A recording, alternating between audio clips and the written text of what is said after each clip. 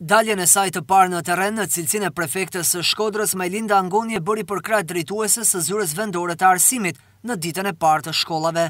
Pasi pa nga afër masat e marra dhe kushtet që ofrojnë një pjesë e këtyre institucioneve arsimore, Angoni uroi vit të mbarë e me sa më shumë arritje për nxënësit e mësuesit. Kërkesë kryesore përsëriti që të respektohen masat anti-Covid, ndërsa garantoi se institucioni që drejton do të jetë në mbështetje të tyre.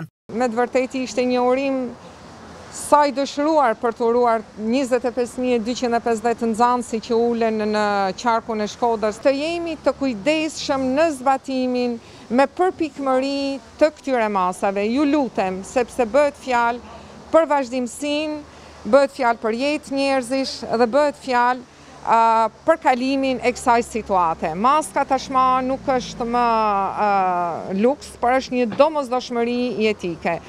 Përveç mësuesve e nxënësve në shkolla nuk lejohet të hyjnë të tjerë persona. Në ditën e parë munguan tre mësues që rezultojnë bartës të virusit. Hap pas hapi do të ndiqet çdo zhvillim në shkollat e sistemit parauniversitar, e ku në varësi të zhvillimeve do të ndiqen skenaret e paracaktuar. Ne jemi përpjekur të bajmë maksimumin për sa i përket çështjeve të higjienës dhe të distancimit social.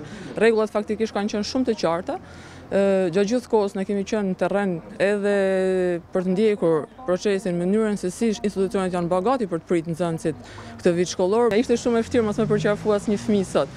Edhe por ky përqafim tashmë do të kthehet në një rregull, i cili s'duhet të ndodhë për sa kohë që rrezikohet shëndeti i Target grupi i fëmijëve janë target grupi të cilët nuk rrezikohen, por ata që i rrethojnë mësuesit, prindërit e tjerë me radhë duhet të kenë shumë kujdes dhe të krijojnë sidomos prindët të jenë mbështetësit tanë ma të mëdhenj për shkak edhe të na mirëkuptojnë. për shkak të shumë rregullave që janë vendosë dhe të cilat a priori dhe me rigorozitet duhet të zbatohen patjetër. Kryebashkiakja Voltana Ademi mëngjesin e nisi në Gjimnazin Jordan Misja, i cili i priti këtë vit nxënësit me mjedise të rikonstruktuara. Suksese dhe mbarësi. Është një vit i rëndësishëm.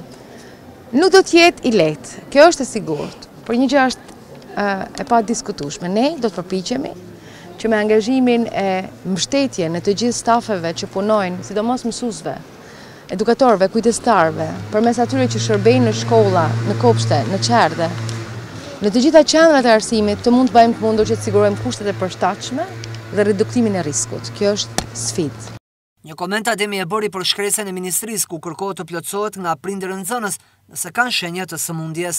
Vlen deklarata në aspektin e një përgjegjësie sociale që ne duhet të kemi përkundrejt familjes njëri-tjetrit për të ndoshta edhe për vlerësimin e vetëdijes thjesht për të kontrolluar edhe veten çdo ditë, çdo mëngjes, Nëse kemi shqetësime, kjo vlen, imagjinoni për fëmijët, është është gati një shtesë detyre, por fakti që ka një protokoll të tillë do duhet ta respektojmë e para.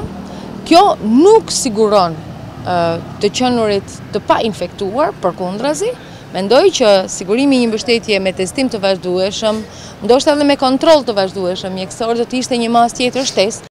Tetëdhjetë e pesë institucione arsimore hapin dyert në bashkinë Shkodër këtë katërmbëdhjetë shtator për të pritur mbi tetëmbëdhjetë mijë nxënës, nga të cilët një mijë e treqind e një ulen për herë të parë në bankat e shkollës.